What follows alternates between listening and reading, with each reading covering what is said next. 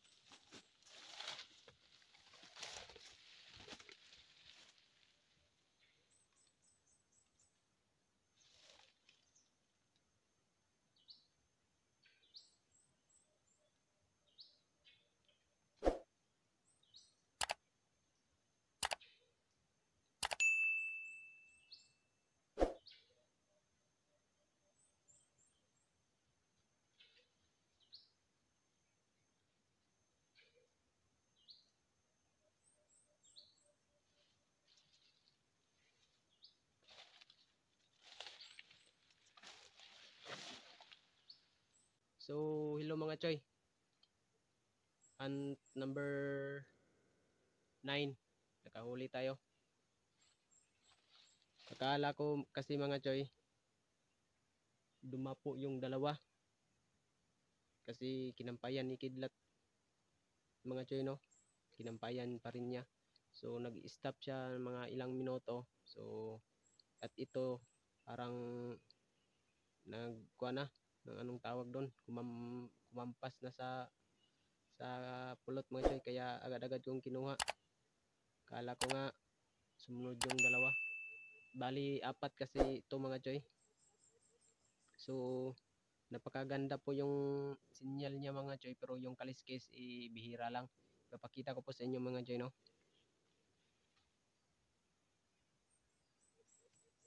Hindi makita pipicturan ko na lang mga choy. Maganda yung nahuli natin. So pagkakawalan po natin to sa bahay namin mga choy. So yun lang mga choy no? Ah sa mga viewers ko dyan may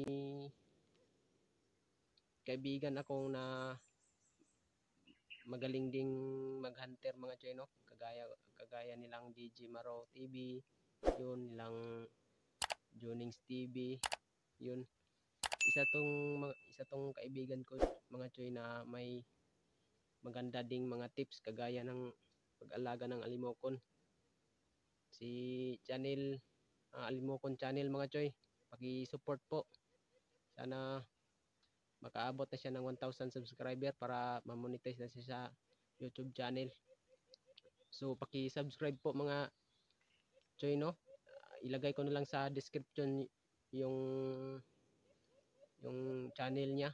Paki-subscribe po mga choy. So yun lang. Sa mga baguhan pala dyan mga choy at yung mga silent viewers ko ay inaayahan ko po kayo na mag-subscribe sa aking channel.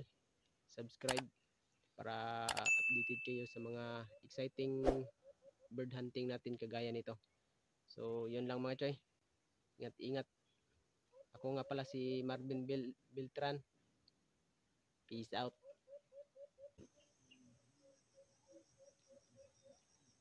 Tipad na. So, yun mga